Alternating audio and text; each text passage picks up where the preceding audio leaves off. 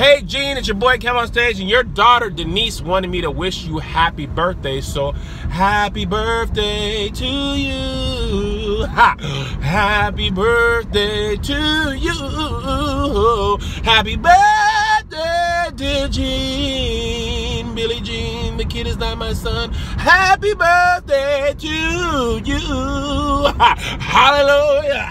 The devil tried to take you out of there this year. You fell down the stairs, down them three stairs, but you made it.